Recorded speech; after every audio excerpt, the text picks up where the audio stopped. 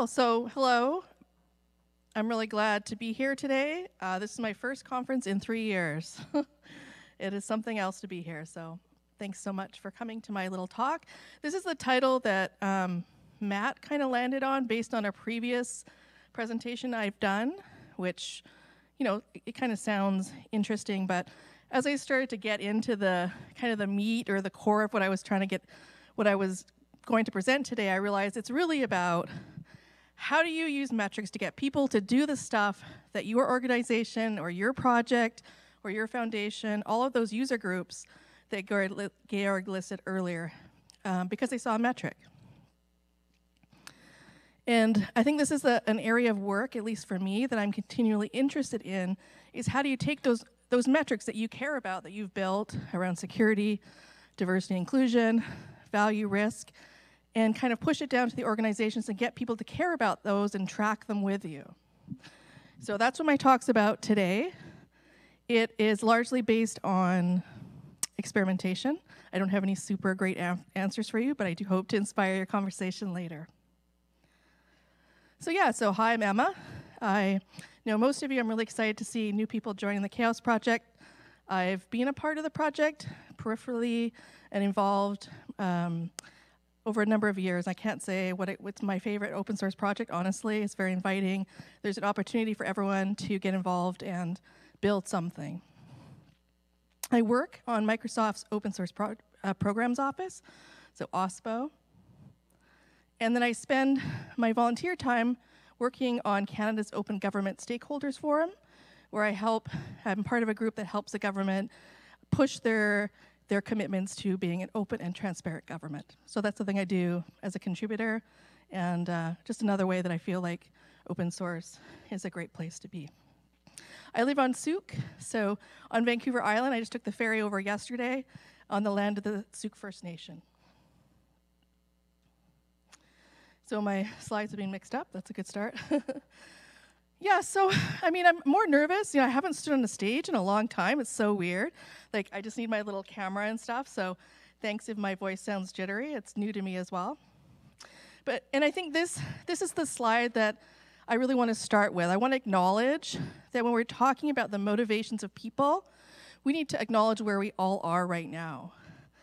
And from my perspective, this this picture really captured how I feel, have felt in the last three years. So through a pandemic kind of on the outside with my mask or my helmet or whatever, looking, looking at the world going by, looking at people through cameras, and you know, being restricted by a number of things, increasingly more, more complex, things like the economy.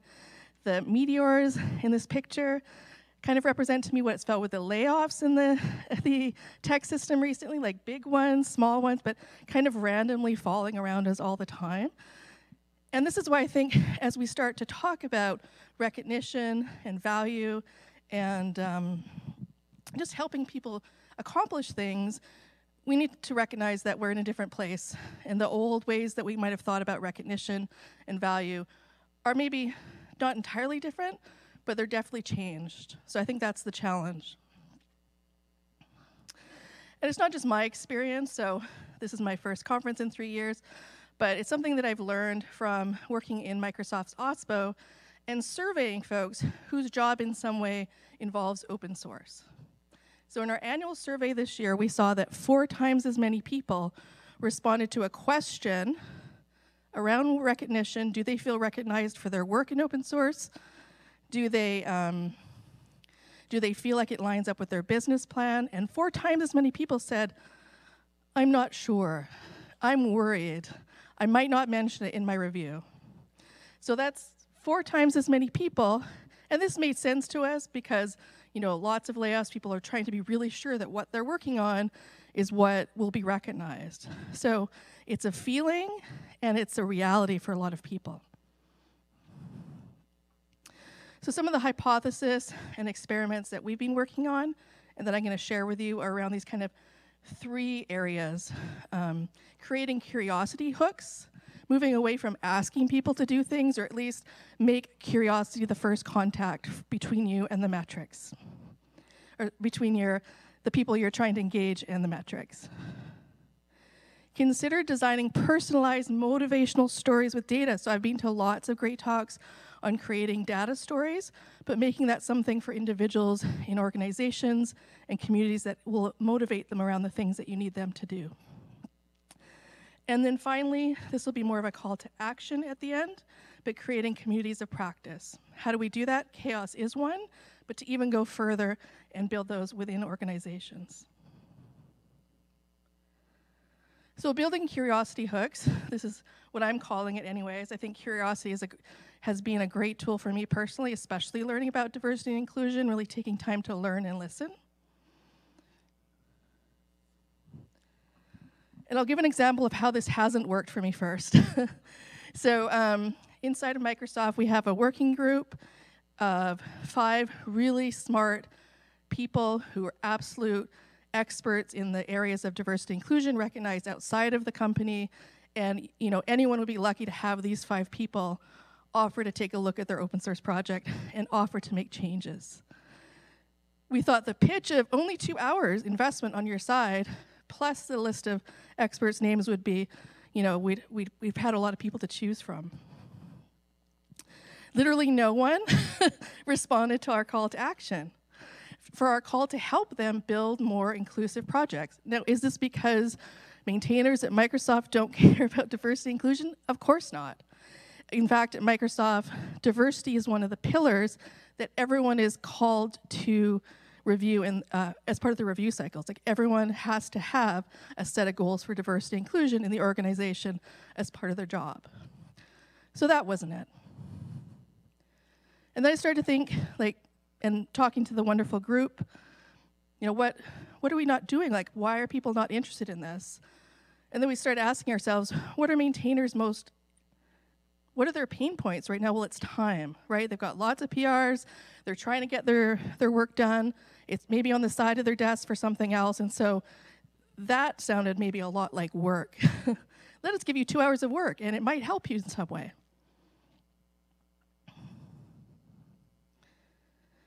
So instead, we decided let's think about who it is we want to work with and how we might phrase the opportunity to increase the inclusion in their project using words that matter to those folks.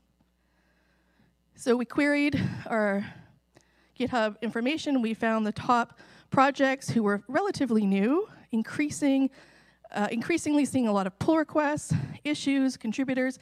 You kind of see it going faster than than the, the, the speed of what a maintainer might be able to, to keep up with. And we've started to reach out to these folks with this opportunity. Let us help you. Here's, here's looking at the data, here's a list of potential contributors that might take on a triage role, which is not, doesn't come with a lot of privilege, but is very helpful. And let us help reduce your workload.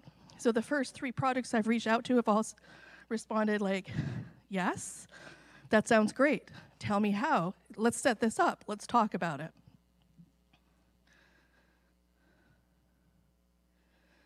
So the first two steps of creating a curiosity hook is really to find people who are most likely to benefit from your metric. Just broadcasting, you know, this is important to the company. You know, there really needs to be something that has that cross that cross pollination. And again, thinking about the time we're in and the stress people are under. And then pitch that out in terms that hit their immediate pain points it's okay that we're not using the specific words diversity and inclusion. Our group will make sure when we work with them that the onboarding and all those types of things that we're experts in will be there. And they can talk about that later, but initially it started the conversation. Here's another statement that I've made in multiple places before because I know how important it is that people know what to do if they're maintaining a project or they're working in the open, that they know what to do if they experience a violation. Now, if you say to someone in a decision making role who's less familiar with open source, we need to make this mandatory, well, this is kind of the like the reaction that I've I've had over the years because it's not understood. The value is not understood. You're suggesting that we create more mandatory training more for all these people across the company who are already taking training on a lot of things involving privacy and safety and diversity inclusion, you know, so just kind of maybe go away. This works though. finding people like HR legal, um, policymakers, standards people, and saying, we have over 42,000 employees who are members of our GitHub repository and organization, and these are recent numbers. We've contributed to over 12,000 repositories that are governed by not by our company, by people who may or may not have codes of conduct and by other teams. But don't worry, we have a course that reduces risks for safety and privacy of those employees. This is the hook, and this has been the response.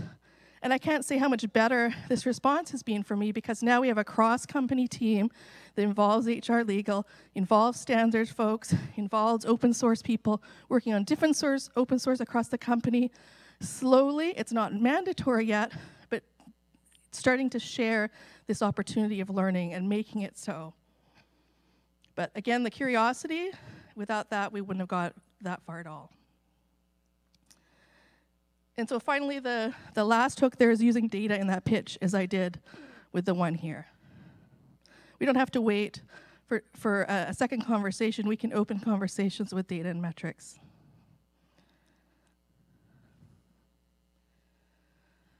A third one, a third and final one around kind of like asking questions in the wrong way is going to a team or maintainer and asking, are you following the security best practices? And here's a bunch of ways you could do that. uh, th this is kind of the eyes, and I, have heard this a lot from people who work trying to enforce security standards. Is people are doing their best out there. they really are. They're they're trying. They're they're responding to the compliance flags. They're they're working to the best of their ability to do their job and to be as secure as possible. Please just can I just get back to work? Can I just please keep going? A better question that prompts curiosity is to give someone a number like this. What does your 7.4 OpenSSF scorecard tell you about your project's security and preparedness? When we show this to people, we've done this in a few different ways, which I'll get into, there's definitely curiosity. Both from the perspective of, oh, what, like, what is that made up of? And that can't be right.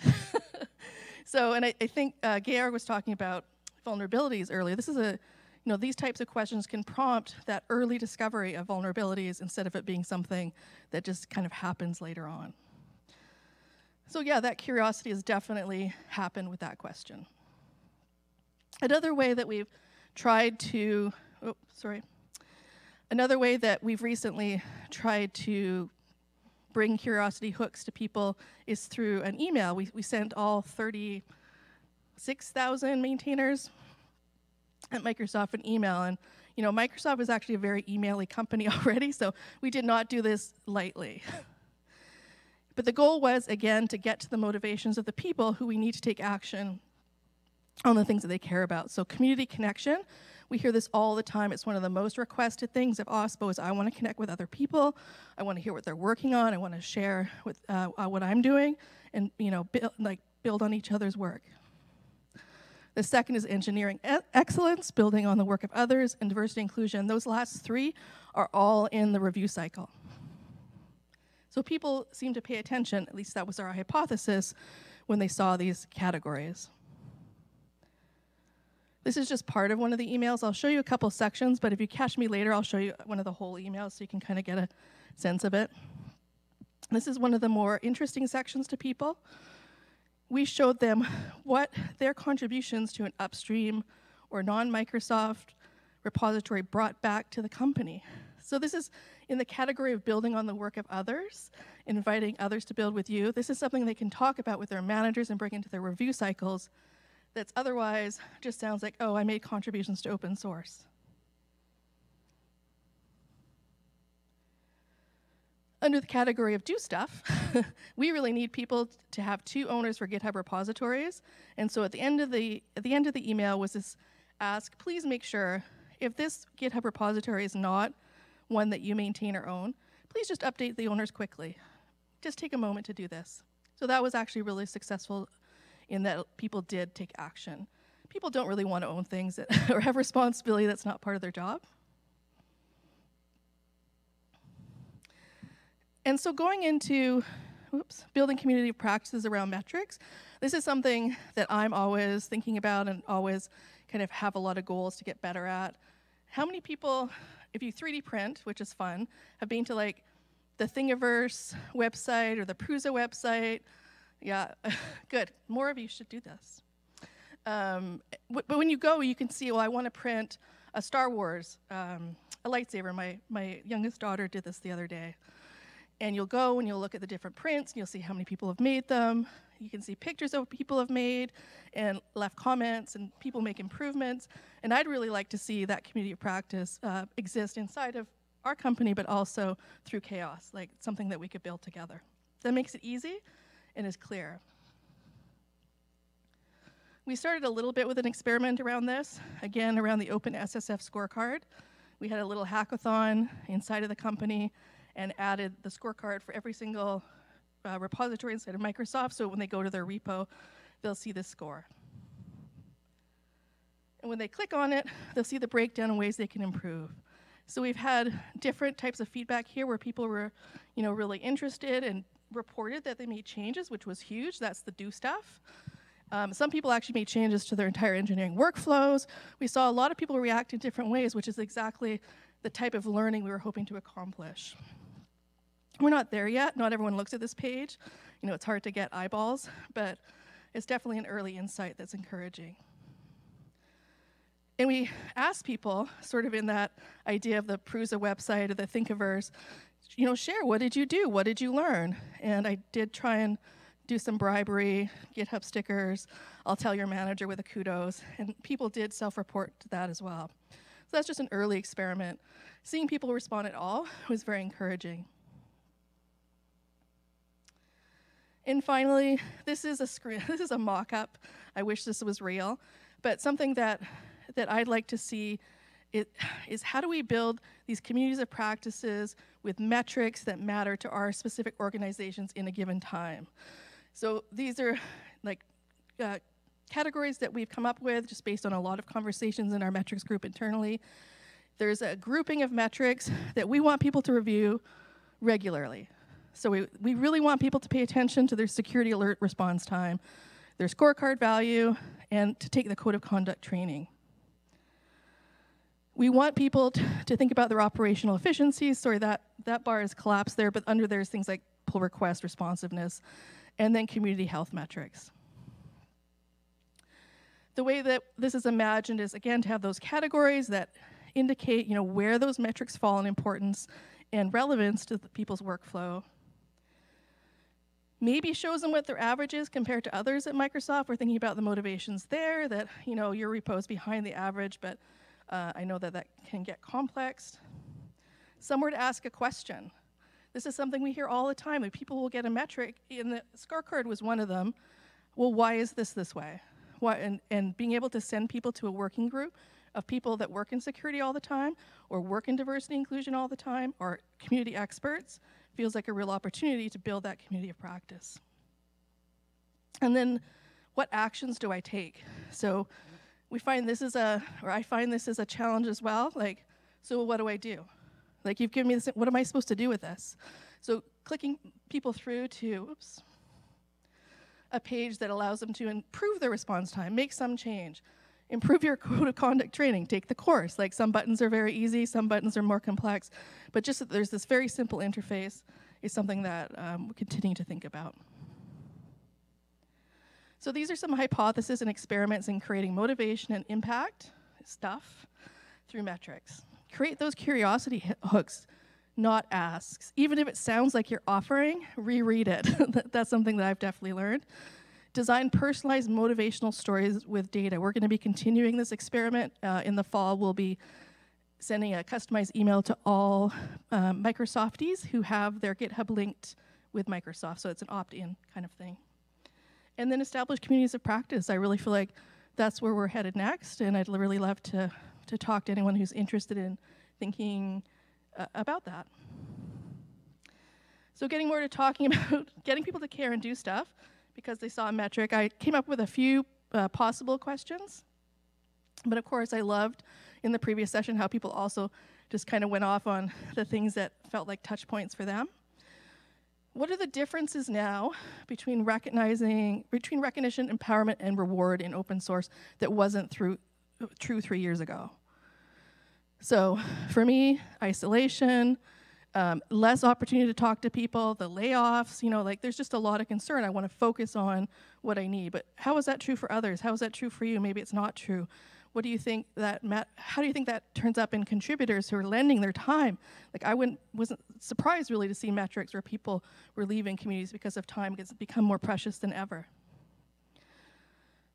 How might we get better at creating curiosity hooks? What is a, a good way to challenge ourselves to do that better? I don't know yet. I'm still learning by trial and error. And what story can we tell people with data that gets them to take those actions? And how we, might we con, uh, have this community of practice within our organizations? I mean, I'd certainly love to keep sharing with you the things that we try, the things that, and I'd love to hear what you try. So that's maybe one of the first places we can think about uh, sharing. Thank you.